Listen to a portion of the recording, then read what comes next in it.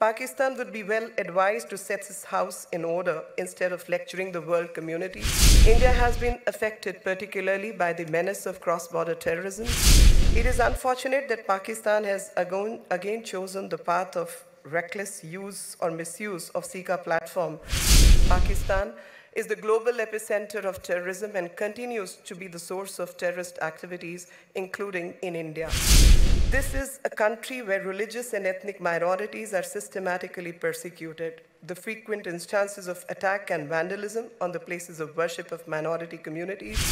Terrorism remains the biggest challenge and threat to our peace and continues to be the biggest violator of human rights in all its forms. Terrorism, like climate change and pandemic, impacts us all.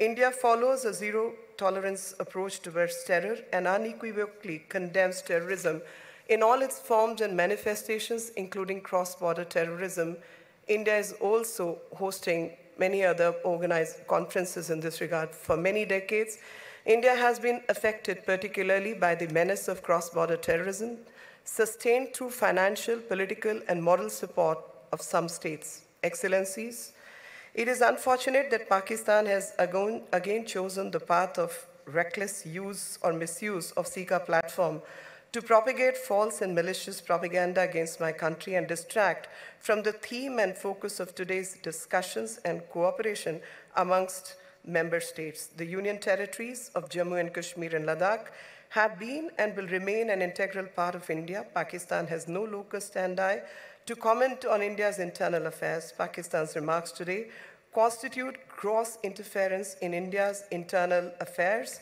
sovereignty and territorial integrity, which is inconsistent with the CICA Declaration on the Principles Guiding Relations between CICA Member States of September 1999. Pakistan is the global epicenter of terrorism and continues to be the source of terrorist activities, including in India. Pakistan continues to make no investment in human development, but provides their resources for creating and sustaining infrastructure of terrorism. Pakistan must immediately seize anti-India cross-border terrorism and shut down its infrastructure of terrorism. It will do well to stop the grave and persistent human rights violations in Pakistan-occupied Jammu and Kashmir and Ladakh, refrain from effecting any further material changes in the status of Pakistan-occupied Jammu and Kashmir and Ladakh. And I'm happy to share that this year, India has allocated 50.2 billion rupees to the Ministry of Minority Affairs for the welfare of the minorities. With its own record of the dismal treatment of minority communities, Pakistan would be well advised to set its house in order instead of lecturing the world community. This is a country where religious and ethnic minorities are systematically persecuted. The frequent instances of attack and vandalism on the places of worship of minority communities in Pakistan and the countless cases of abduction, forced conversion, and marriage of minor girls from minority communities in Pakistan are evidence of vulnerable status of minorities in this country.